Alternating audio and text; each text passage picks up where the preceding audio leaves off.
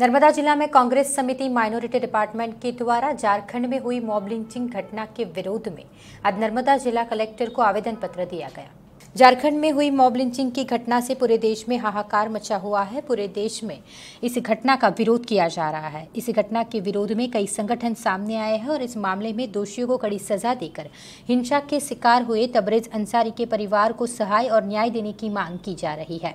ऐसे में गुजरात प्रदेश कांग्रेस समिति के माइनॉरिटी डिपार्टमेंट के द्वारा नर्मदा जिला माइनॉरिटी प्रमुख इम्तियाज़ अली काजी की अध्यक्षता में नर्मदा जिला कलेक्टर को आवेदन पत्र देकर झारखंड में हुई घटना का सख्त विरोध किया गया और साथ ही देश पर खतरा बने। इस मॉब लिंचिंग के आतंकवाद पर कड़ी कार्रवाई करने की मांग की गई।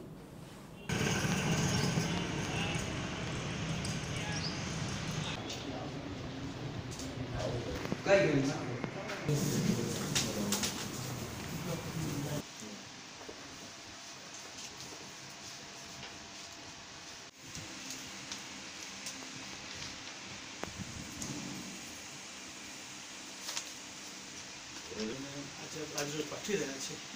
કે પૂરા સમગ્ર દેશની અંદર જે મોબ લિન્ચિંગની જે ઘટનાઓ બની રહી છે, તે આપણા ભારત દેશ માટે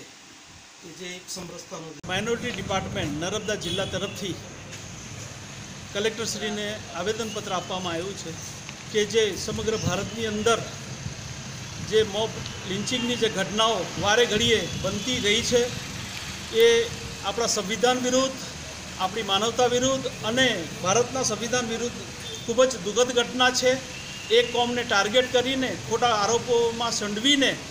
ટોળું ભેગું થઈને એની જે નિપુર અને નિર્મમ હત્યા કરવામાં આવે છે, એના વિરુદ્ધની અંદર નર્મદા જિલ્લાના સમગ્ર મુસ્લિમ સમાજ તરફથી આજે કલેક્ટરશ્રીને આવેદનપત્ર આપવામાં આવ્યું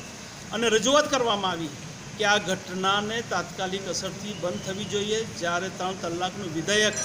સરકાર લાવી શકતી હોય તો આ મોબ લિન્ચિંગની અંદર આવા તત્વો જે અસામાજિક તત્વો છે, જે કોમના નામે અને ધર્મના નામે ભાગલા પડાવીને પાંચ પર્સન્ટ લોકો આખી સમાજને બાનમાં લઈ રહ્યા છે, એમની સામે અમારું સમગ્ર મુસ્લિમ સમાજનો સખત વિરોધ છે અને સરકાર અમારી આવાજને, અમારી વેદનાને સાંભળશે.